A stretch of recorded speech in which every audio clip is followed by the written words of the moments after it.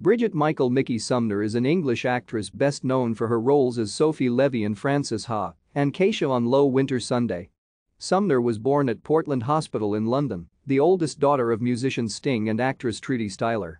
She became engaged to Chris Kantrowitz in June 2016 and they married in Tuscany in July 2017.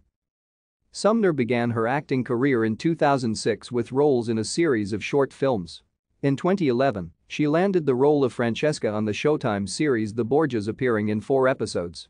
Sumner garnered significant attention for her role as Sophie Levee, starring opposite Greta Gerwig in 2012's Frances Ha. In 2013 Sumner portrayed Patti Smith in CBGB.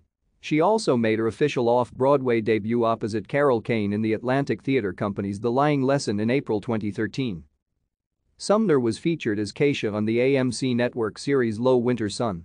In 2013, Sumner acted in a series of films including Half the Perfect World, The Mend and Anesthesia. Sumner starred in the independent film The Mend alongside Josh Lucas and Stephen Plunkett. Thank you for watching. Like and subscribe if you would like to view more of our videos. Have a nice day.